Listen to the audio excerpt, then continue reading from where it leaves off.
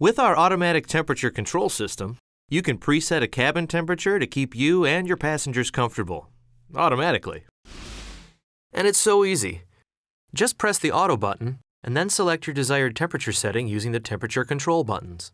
The system automatically adjusts the air temperature, the airflow volume, amount of outside air recirculation, and the airflow direction.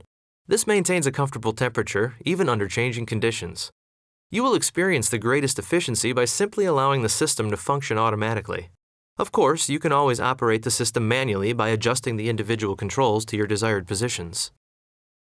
If you're operating the system manually, you can turn the air conditioning on or off by simply pressing the air conditioning button and adjusting the temperature controls.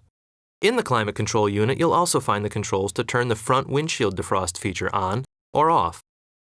Turn the air recycling feature on to keep undesirable odors or excessive traffic exhaust from entering your vehicle. It's also a great feature to use to optimize cooling when you first turn on the air conditioning. Please refer to the instruction manuals on the Owner's Information DVD for complete details and other important safety information.